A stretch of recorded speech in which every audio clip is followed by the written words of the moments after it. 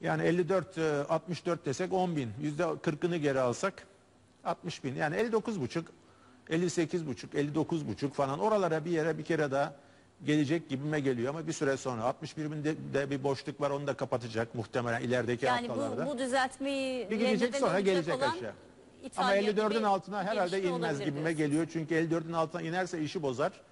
Çünkü 54'ün üzerinde bir yerde kaldığı sürece bir sonraki dip e, sene sonu rallisi için herkesin bu beklentisi 69-72 falan oraları bir daha yakalar mıyız?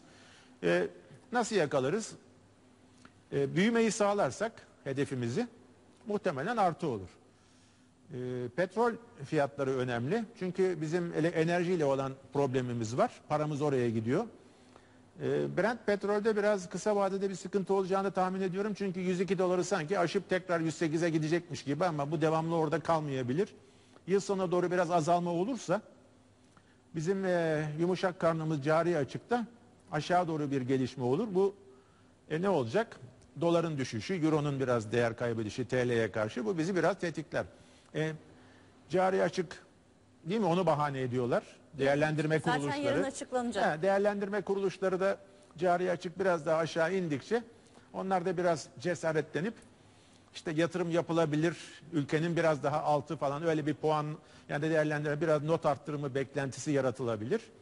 Karlılıklara bakılabilir.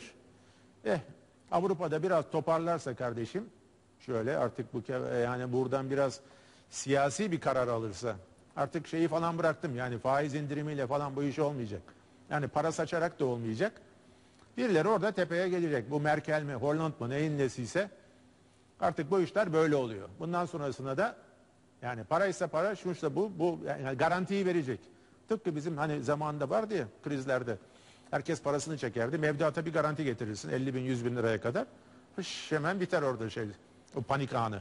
Bu paniği bir kesmek lazım. Güveni sağlamak lazım ama para saçarak falan güven olmayacak. Siyasi kadro bu güveni verirse Avrupa'da o da bize bir etki yapar. Yani biz o şekilde paldır küldür sallan yuvarlan 69-70 oralara doğru Evet. sene sonundaki o rallide gidebiliriz. Zaten otomatikman gidiyoruz her sene sonunda. O Kasım Aralık Ocak rallisi oluyor. Bu arada seans da başladı. Yüzde 0,89'luk bir yükselişle açılışın gerçekleştiğini görüyorum. 63.164 puan seviyesinde endeks. Yani biraz daha ivme Tırmanacak biraz kazandı. daha. Yani gibi 62 bin kırılmazsa e, tasa yok. Zannederim Avrupa'daki gelişmelerin de bir, bir miktar etkisi oldu. Bugün Avrupa Avrupa'da borsaları da da, olumlu. e, Yani e, takip edenler var mutlaka. İşte bu euro dolar paritesi tabii bizi etkiliyor. Euro değer kaybettikçe bizde biraz sıkıntı oluyor. Niye? İhracat açısından bir dert oluşuyor bizde. Gelir açısından. Ama e, teknik olarak da oraya dokunursak 1.22 e, 33'e kadar indi en son.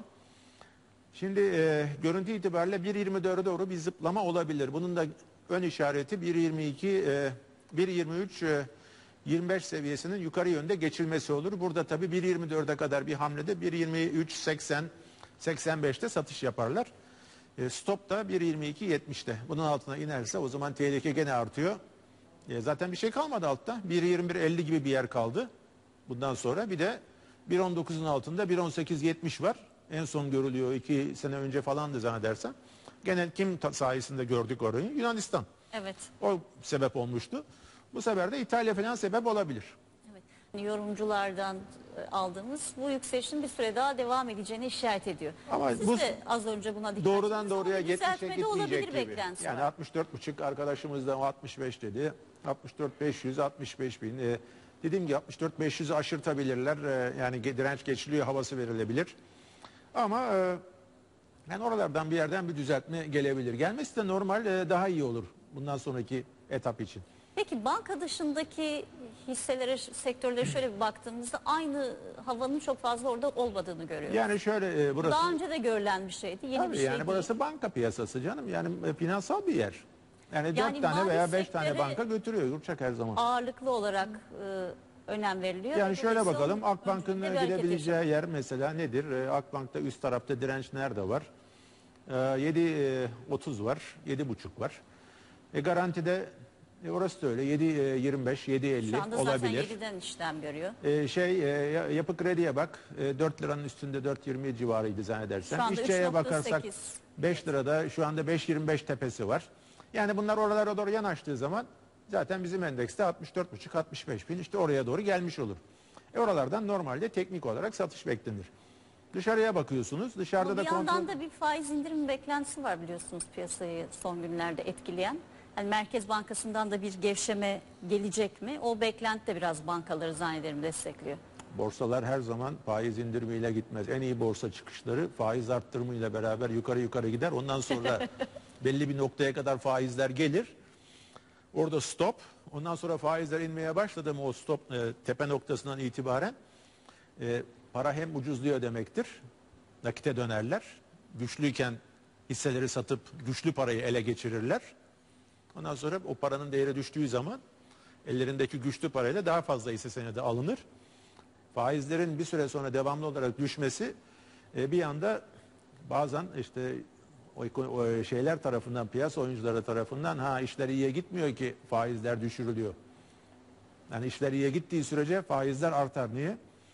E, yani güldür güldür böyle ekonomi iyice hız kazanıyor. Orada enflasyon patlamasın diye. Yani para böyle haldır huldur her tarafa saçılmasın diye.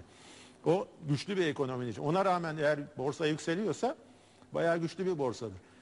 Ee, dışarıya da düştü dönürsek dönersek bilmiyorum böyle vaktimiz ne kadar ama altın piyasasını takip ederler bizimkiler yatırımcılar. Ee, orada da 1580 90 dolarda zannedersem şu sıralarda öyleydi. 1596 dolar. Bugün 96 altında ha, bir miktar 1600 dolara kadar gelmiş ama e, 1630 dolarda satış geliyor buraya da 1580 civarında alım geliyor. Ama e, Fed'in bu toplantıda ben parasal bir genişleme falan yapacağını zannetmiyorum. Datalara biraz daha bakacaktır. Yani ne oluyor, ne bitiyor biraz daha bu bir göz atayım bakayım durum düzeliyor mu, düzelmiyor mu? Yani para saçmak en son tercihinden birisi. Çünkü onun toplaması da piyasadan gene buna kalacak, FED'e kalacak. Başkasına değil. Bir de saçılan para nereye gidiyor? Onun istediği yere de gitmiyor. Ondan da dolayı biraz sinirleniyor vaziyete. Öyle ötekilerde e, devamlı para gelsin. E, onlar da alışkanlık edindi. Hala o beklentinin korunduğunu görüyoruz piyasalarda. Sonraki etapta muhtemelen e, seçim öncesine yani seçime doğru Kasım'daki seçime doğru yanaşırken e, Sayın Obama'ya bir kıyak çekebilirler. Evet. Eğer işler kötüye gide- işler yani kötüye giderse. Şimdi bugün göz olacağız. Bu arada seans 63.300'ün üzerinde devam ediyor. %1'in Uçurduk üzerinde bir yani? prim var. Bakalım 63.500'ler e, görülebilir mi ikinci seansta? Olabilir. Yani o 63 Şöyle- 600 diye tepesini deneyebilir. Evet şöyle bir bakıyorum Ee, yine bankalara bağlı sektörel endekste yüzde ikiye yakın bir prime ulaşmışız. Yüzde 1,98'lik bankacılık sektör endeksi yükseliyor. Akbank'ta yüzde iki, Garanti Bankası'nda yüzde ikinin üzerinde, İş Bankası'nda bir buçuğun üzerinde, Yapı Kredi Bankası'nda da e, şu dakikalar yüzde ikiye yakın Benim bir yatırımcı da yükseliş var. şimdi soruyordur. Benim elimdeki kağıtlar niye gitmiyor? Borsa yükseliyor falan filan. E işte yani biraz portföyünde olacak bu 50 yüzde 50 yani yukarıya giden piyasada yüzde 50 portföyünde banka olsun. Olsun yani. Ha, bundan sonraki düşüşte ne yapacaksa atıyorum bundan sonraki düşüşte 58'e mi indik 59'a mı indik?